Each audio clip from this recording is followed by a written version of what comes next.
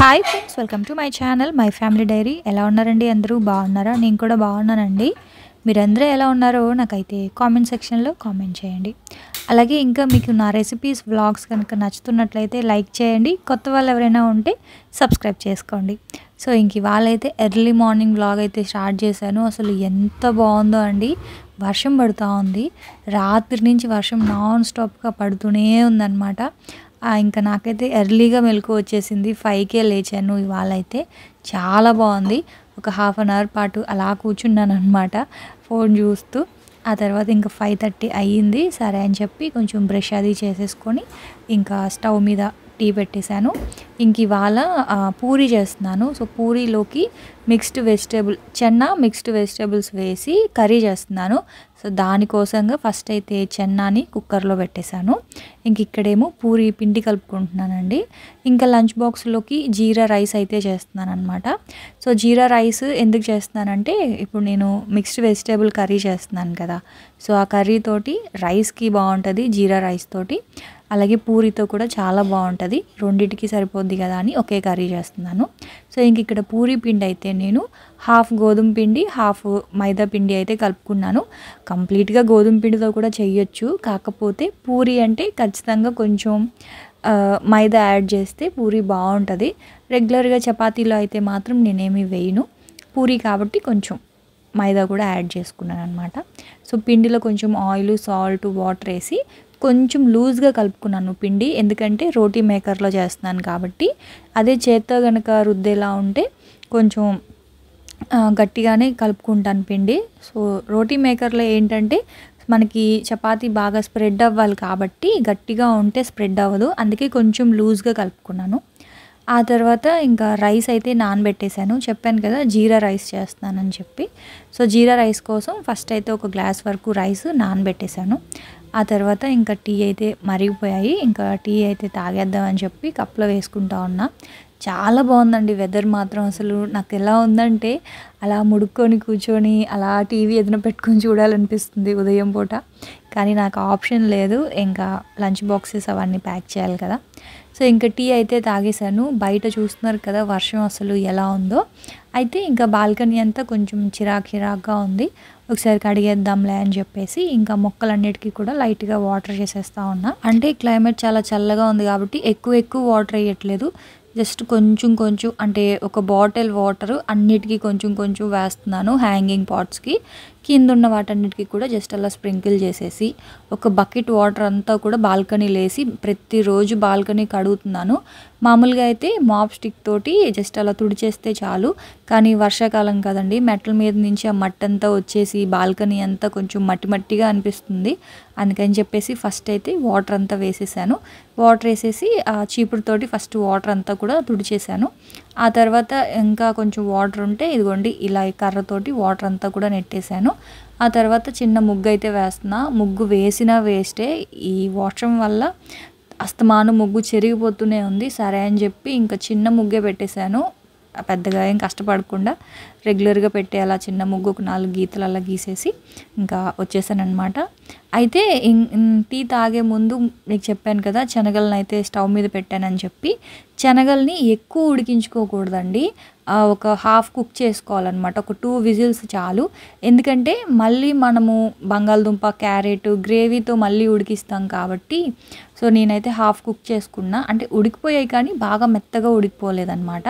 So ఇంక ఇప్పుడు ఇందులో ఏంటంటే పక్కన తీసి పెట్టేసి ఇప్పుడు అదే కుక్కర్లో మళ్ళీ ఆయిల్ అవన్నీ వేసుకొని తిరగమాత అయితే పెట్టుకోవాలి. సో ఇక్కడైతే నేను కొంచెం ఆయిల్ అయితే కుక్కర్లో వేసుకుంటున్నాను. ఇది కొంచెం ఎక్కువ క్వాంటిటీలో చేస్తున్నాను. గ్రేవీ కాబట్టి కొంచెం ఆయిల్ ఎక్కువ పడుతుంది. రైస్లోకి కావాలి ప్లస్ పూరీలోకి కావాలి కదా అందుకని కొంచెం ఎక్కువ క్వాంటిటీ చేసుకుంటున్నాను. సో ఇంక ఇక్కడైతే ఒక రెండు చిన్న దాల్చిన చెక్క ఒక నాలుగైదు ల లవంగాలు ఒక రెండు ఇలాయచి మసాలా దినుసులు అయితే వేసుకున్నాను. ఆ తర్వాత ఒక పెద్ద సైజు ఆనియన్ ఉంటుంది కదా సో అదైతే కట్ చేసి వేసుకున్నా. మీడియం సైజు ఉల్లిపాయలు అయితే రెండు వేసుకోండి. నేను కొంచెం పెద్ద సైజు ఉందన్నమాట ఉల్లిపాయ సో అదైతే ఒకటైతే వేసుకున్నా. ఉల్లిపాయ సిమ్లో పెట్టాను అదైతే వేగుతూ ఉంటుంది. ఇంక ఈ లోపల ఇదిగోండి ఈ మాత్రం బంగాళదుంప ఒకటి కొంచెం పెద్ద సైజ్ క్యారెట్ తీసుకున్నాను. సో కాబులీ చెన్నా మీ ఇష్టం మీరు తినేదాన్ని బట్టి తీసుకోండి. నేనైతే ఒక వన్ ఫిఫ్టీ గ్రామ్స్ అలా తీసుకున్నాను అనమాట అంటే మనం మంచినీళ్ళు తాగే కప్పు ఉంటుంది కదా సో ఆ కప్పుతోటి కొన్ని శనగలు అయితే నానబెట్టేశాను నైట్. ఉదయం ఫస్ట్ హాఫ్ కుక్ చేసుకున్నాను అనమాట సో బంగాళదుంపలు మరీ చిన్నవిగా కట్ చేసుకుంటే అవి బాగా ఉడికిపోయి మనకి కనిపించవు. గ్రేవీలో కలిసిపోతుంది అనమాట కాబట్టి ఈ మాత్రం ముక్కలు అయితే ఉండాలి. సో క్యారెట్ బంగాళదుంపలు కట్ చేసుకొని పక్కన పెట్టేసుకొని ఇదిగోండి కొబ్బరి ముక్క. హాఫ్ కొబ్బరిలో ఇంకొక హాఫ్ అన్నమాట ఇది. సో మీ ఇష్టం. కంప్లీట్గా కొబ్బరితో చేసుకోవాలి అనుకున్నా చేసుకోవచ్చు. కాకపోతే ఇక్కడ నేను కొంచెం జీడిపప్పు కూడా యాడ్ చేస్తున్నాను. ఇంకా మంచి రుచిగా ఉంటుంది గ్రేవీ అనేది. సో జీడిపప్పు వెయ్యము అనుకుంటే జీడిపప్పుని స్కిప్ చేయండి. లేదు కొబ్బరి వెయ్యము అనుకుంటే కొబ్బరిని స్కిప్ చేసి జీడిపప్పు ఇంకాస్త ఎక్కువ వేసుకోండి.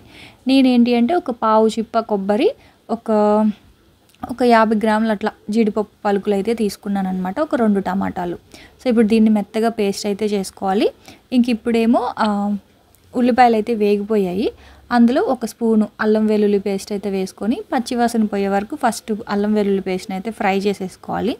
ఏం లేదండి ఎప్పుడు మనం చేసుకునే కర్రీ లాగానే కాకపోతే కొబ్బరి జీడిపప్పు టమాటాలు ఈ మూడింటిని కూడా మిక్సీలో మెత్తగా పేస్ట్ చేసి వేసుకోవడం వల్ల మనకి ఈ మిక్స్డ్ వెజిటేబుల్ కర్రీ చాలా రుచిగా చాలా బాగుంటుంది అనమాట సో అల్లం వెల్లుల్లి పేస్ట్ ఫ్రై అయిపోయిన తర్వాత బంగాళదుంపలు అలాగే క్యారెట్ ముక్కలు తర్వాత ఒక పావు స్పూన్ వరకు పసుపు ఆ తర్వాత ఒక స్పూన్ కారం అయితే వేసుకోండి. అంటే మీరు తినే కారాన్ని బట్టి కారం అయితే వేసుకోండి. నేను ఒక స్పూన్ వేసుకున్నాను.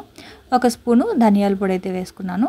ఆ తర్వాత ఇది ఇంట్లో తయారు చేసుకున్న గరం మసాలా ఎక్కువ వేసుకుంటే మరీ ఘాటుగా ఉంటుందని చెప్పి ఒక పావు స్పూన్ వేసాను. అది కాకుండా అందులో లవంగాలు దాల్చిన చెక్క కూడా వేసాం కదా అందుకే ఒక పావు స్పూన్ కన్నా ఇంకా తక్కువే వేసాను గరం మసాలా అయితే. వేసేసుకొని మొత్తం ఒకసారి మిక్స్ చేసేసుకోవాలి. మిక్స్ అయిపోయిన తర్వాత ఇందాక పచ్చి కొబ్బరి జీడిపప్పు టమాటాలు ఇలా మిక్సీలో పేస్ట్ లాగా చేసుకున్నాను. సో అదంతా అందులో వేసేసి ఉడికించి పెట్టుకున్న ఈ చెన్నా కూడా అందులో వేసేసాం. మామూలుగా మనం ఎప్పుడైనా సరే పూరితోటి పూరీతోటి చెన్నా కర్రీ చేస్తాము. ఇలా కుర్మా లాగా చేయం అనమాట ఓన్లీ చెన్నాతోటి చేస్తాము. చెన్నా బంగాళదుంప కూడా చేస్తాము. సో ఒకసారి ఇలా ట్రై చేయండి. చాలా బాగుందండి. ఈ కర్రీ ఎప్పుడు నేను చపాతీతో చేస్తాను. పూరీతో పెద్దగా చేయను. ఎక్కువగా చపాతీతో తింటారు మా వాళ్ళు. సో ఇవాళ నాకు పూరితో చేద్దాంలే అనిపించింది. సో ఇదిగోండి. ఇంకా అవన్నీ వేసేసి రుచికి సరిపడా సాల్ట్ అలాగే ఆ మిక్సీలో కొంచెం వాటర్ వేసి వేసేసానమాట అనమాట కొంచెం వాటర్ ఎక్కువే ఉండాలి ఎందుకంటే గ్రేవీగానే ఉంటుంది ఈ కర్రీ అనేది. కానీ కానీ చాలా అంటే చాలా బాగుందండి గ్రేవీ మాత్రం అసలు. సో ఇప్పుడు ఏంటంటే మీడియం ఫ్లేమ్లో ఒక టూ విజిల్స్ కనుక పెట్టేస్తే బంగాళదుంపలు క్యారెట్ అవన్నీ కూడా కరెక్ట్గా కుక్ అవుతాయండి. టూ విజిల్స్ చాలు. ముందుగానే మనం శనగలకు ఉడకబెట్టేసుకున్నాం కాబట్టి. సో ఇంక అదైతే వాటర్ అవన్నీ పెట్టేసి పక్క స్టవ్ మీదకి పెట్టేశాను. పిల్లల కోసం వేడి నీళ్ళు కూడా పెట్టేశాను. ఇంక ఇక్కడేమో జీరా రైస్ అనొచ్చు లేకపోతే మసాలా రైస్ లేకపోతే గీ రైస్ అని కూడా అనొచ్చు. ఎందుకంటే ఇంకా ఇందులో వేరే కారము పచ్చిమిరపకాయలు ఇట్లా ఏమీ వేయకుండా ఒక two two two three spoons నెయ్యి అయితే వేసుకున్నాను. అందులో హోల్ గరం మసాలా అంటే షాజీరా దాల్చిన చెక్క ఇలాచీ లవంగాలు ఆ తర్వాత జీలకర్ర.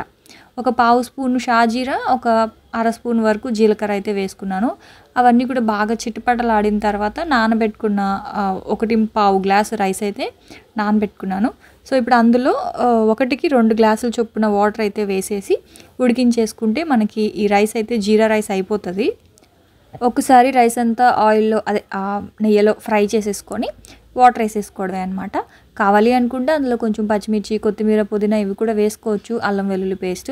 కానీ అవన్నీ ఏం అవసరం లేదు. ఆల్రెడీ మనం మసాలా ఆ గ్రేవీలో ఉంది కదా కొబ్బరి అల్లం వెల్లుల్లి పేస్ట్ అవన్నీ. అందుకే ఇంక ఇందులో అయితే ఏం వేయలేదు. సో ఇదిగోండి ఈ రైస్ అయితే పెట్టేశాను.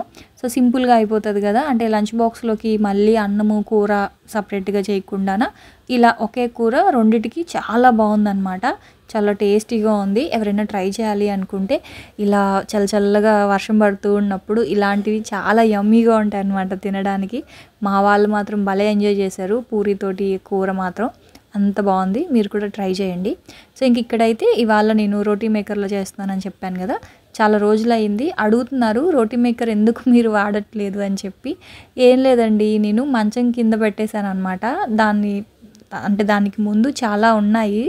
అంటే కొంచెం అడ్డుగా ఉన్నవన్నీ కూడా నేను చిన్న రూమ్లో మంచం కింద పెట్టేస్తూ ఉంటాను అనమాట కార్డ్బోర్డ్ షీట్స్ అన్నీ. ఆ వంగి తీయడానికి బద్ధకం అయ్యి ఇంక నేను అదైతే పెద్దగా వాడట్లేదు. చేత్తోనే రుద్దేస్తూ ఉన్నాను.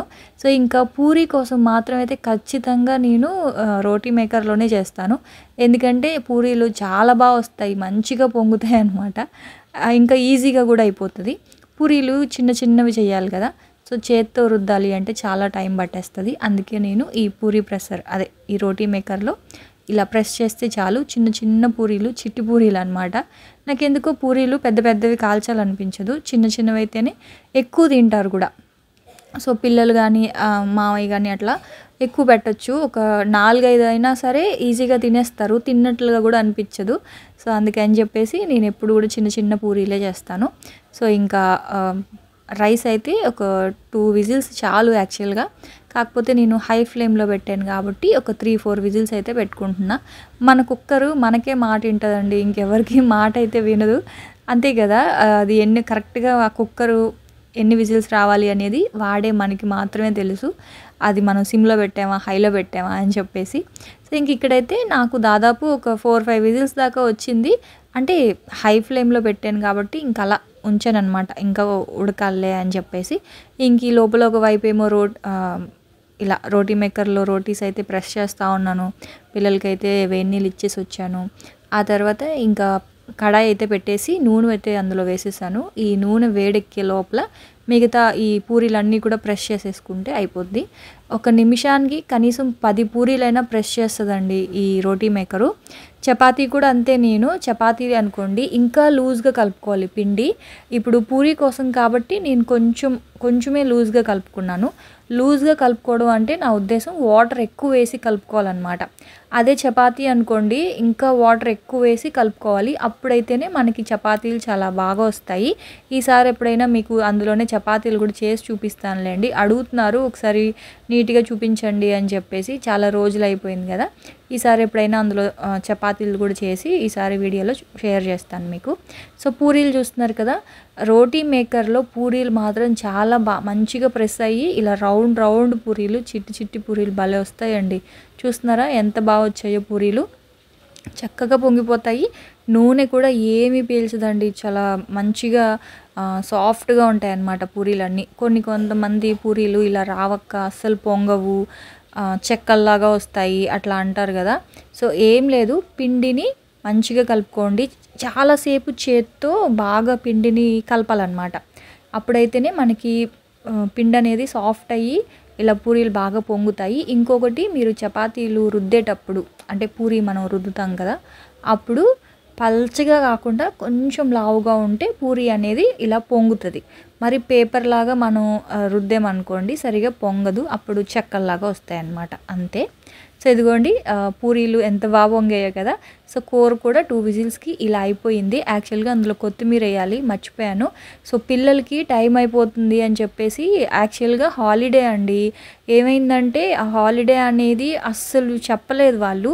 ఇంకా పిల్లలకి ఆటో వచ్చేస్తుంది ఇంకొక టెన్ మినిట్స్లో అన్నప్పుడు అప్పుడు మెసేజ్ పెట్టారనమాట స్కూల్ వాళ్ళు. హాలిడే అని చెప్పి పిల్లలకి. ఇంకా పిల్లలైతే రెడీ అయిపోయారు. నేనైతే లంచ్ బాక్స్ అంతా ప్రిపేర్ చేసేసాను. ఆ తర్వాత ఇంక చూస్తున్నారు కదా ఇంకా టిఫిన్ కూడా ఫాస్ట్ ఫాస్ట్గా పెడుతున్నాను. ముందు పిల్లలకైతే పెట్టేశాను. అంటే వాళ్ళు స్లోగా తింటారు కదా అని చెప్పి. ఆ తర్వాత అయితే కొత్తిమీర కలుపుతూ ఉన్నాను. కంగారులో ఇంకా ఉదయం పూట అంతే కదా మనము కంగారు కంగారుగా చేస్తూ ఉంటాము.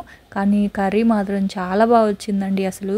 అంటే ఇప్పుడు పిల్లలకి టిఫిన్ తినిన తర్వాత ఇంకా మెసేజ్ వచ్చింది స్కూల్కి హాలిడే అని చెప్పి. ఉండిపోయారు. మళ్ళీ ఒక వన్ అవర్ ఆగి అసలు పూరీలు ఎంత ఒక టూ త్రీ టైమ్స్ తిన్నారు పిల్లలు అయితే పూరి. ఎక్కువ కారం లేకుండా ఎక్కువ మసాలా లేకుండా కూర చాలా బాగుందన్నమాట. ఎవరైనా ట్రై చేయాలి అనుకుంటే ఖచ్చితంగా ట్రై చేయండి. చాలా మంచి రెసిపీ ఆ కర్రీ మాత్రం. ఆ తర్వాత ఇదిగోండి జీరా రైస్ కూడా అయిపోయింది. సో ఇంక ఇక్కడ ఏంటంటే మా వారికి కూడా బాక్స్ కట్టేస్తూ ఉన్నాను. పాపం అండి మా వారికి అయితే ఇంక వెళ్ళిపోతారు. నేనుండి అప్పటికి అడుగుతున్నాను కన్ఫర్మ్ చేసుకో అంటే "ఆ, లేదు పిల్లలకి హాలిడే నాకుంది స్టాఫ్కి అయితే ఉంది వెళ్ళాలి అని అన్నారనమాట అవునా అని చెప్పి ఇంకా బాక్స్ అయితే ప్యాక్ చేస్తూ ఉన్నాను. ఇంక ఇలా బాక్స్ ప్యాక్ చేసి బ్యాగ్ తీసుకొని వెళ్ళి ఇచ్చాను. ఆ తర్వాత ఇంక మా వారికి కూడా హాలిడే అని చెప్పేసి మెసేజ్ పెట్టారనమాట అదేంటోనండి పిల్లలు లేకుండా స్టాఫ్ వెళ్ళి ఏం చేస్తారంటే ఆఫీస్ వర్క్ ఉంటుంది అంటారు మా ఆయనేమో. సో ఇంక నేనేం అనలేను.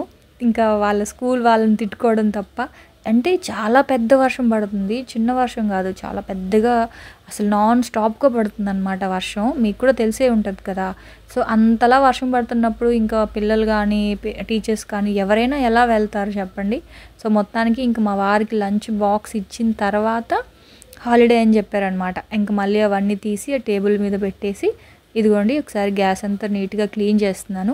పనిలో పని వంట అయితే అయిపోయింది. మధ్యాహ్నానికి ఇంకా మళ్ళీ వంట చేయాల్సిన పని లేదు.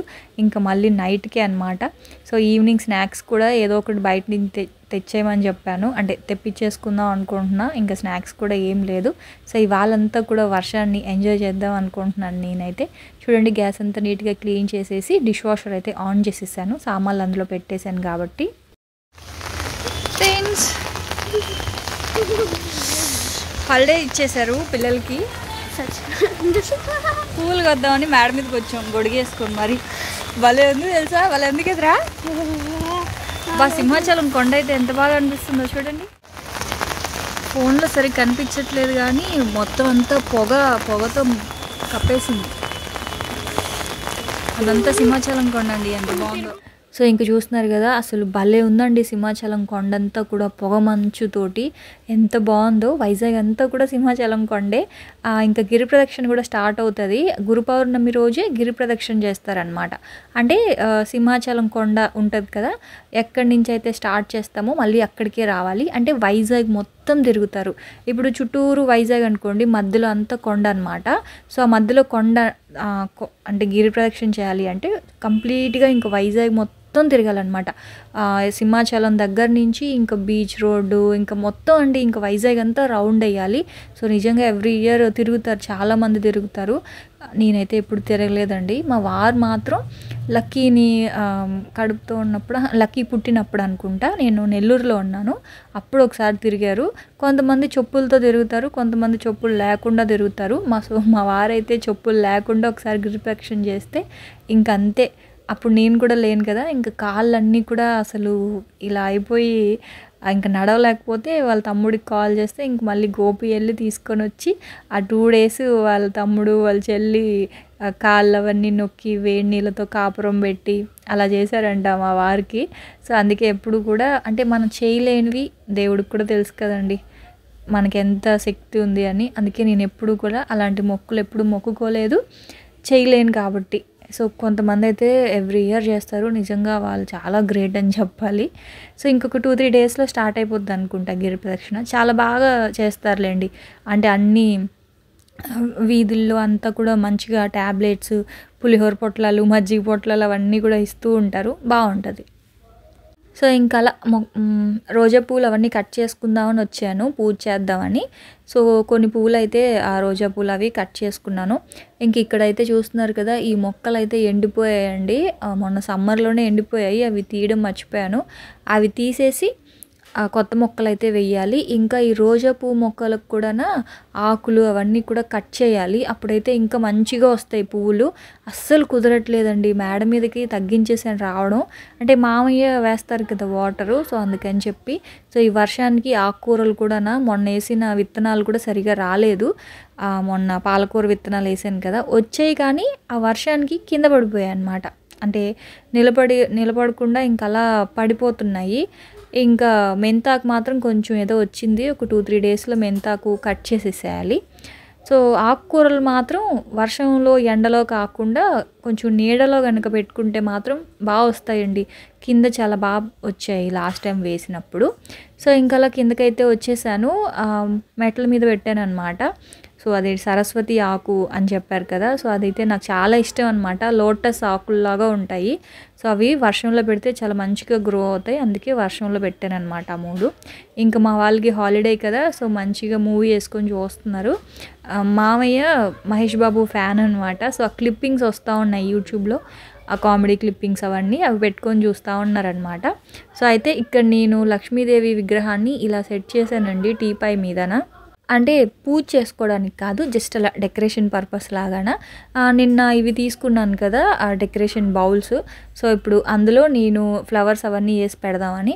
ఎందుకంటే వర్షాకాలం కదా సో ఈ వర్షాకాలంలో మనకి ఇల్లంతా మంచి వాసన రావాలి అంటే మాత్రం ఇదిగోండి ఇది జవ్వాది పౌడర్ అండి. మీకు ఇది వరకు వీడియోలో కూడా చెప్పే ఉంటాను కదా. సో ఈ జవాది పౌడర్ని వాటర్లో మిక్స్ చేసేసి అలా మొక్కలు ఉన్నాయి కదా పక్కన సో ఆ మొక్కల్లో కూడా కొంచెం కొంచెం వాటర్ కలిపి ఆ మొక్కల్లో వేశాను. ఆ తర్వాత కొంచెం జవాది పౌడర్ ఈ వాటర్లో మిక్స్ చేసేసి మేడ మీద కొన్ని రోజా పూలు అవన్నీ కట్ చేసాం కదా ఇప్పుడు. సో అవన్నీ కూడా దేవుడికి పెట్టంగా మిగిలినవి ఇలా బౌల్లో అయితే వేసేసాను అనమాట ఇదిగోండి ఎంత బాగుందో కదా. సో మంచి స్మెల్ వస్తుంది చూడ్డానికి మంచిగా కూడా ఉంది. సో ఇత్తడివి కొనుక్కోమని చెప్పారు. యాక్చువల్గా నా దగ్గర ఉందండి అత్తయ్యవి ఉన్నాయి. కాకపోతే అవన్నీ నీట్గా తోమాలి కొంచెం నల్లగా ఉన్నాయి. యాక్చువల్గా ఇలాంటిది నా దగ్గర ఇత్తడిది ఉంది చాలా బరువు ఉంటుంది. కాకపోతే ఇంక అవన్నీ వాడట్లా పైన పెట్టేశాను అనమాట సో ఇది ఎందుకు బాగుంది? అందుకని ఇలా పెట్టుకున్నాను. మంచి స్మెల్ వస్తూ ఉంటుంది కదా. సో ఇంకా ఇలా అమ్మవారి దగ్గర ఇలా చిన్నగా పెట్టేశాను. ఆ తర్వాత ఫస్ట్ అయితే పూజ చేసేసాను. పూజ చేసేసుకొని ఆ తర్వాత ఇంకా బౌల్లో అలా ఫ్లవర్స్ అవన్నీ వేసి పెట్టేశాను అనమాట సో అదండి ఇంక వాళ్ళ వ్లాగ్ అయితే. సో చూశారు కదా? మళ్ళీ రేపటి వ్లాగ్లో మళ్ళీ వచ్చేస్తాను. అప్పటి వరకు ఉంటాను. Bye friends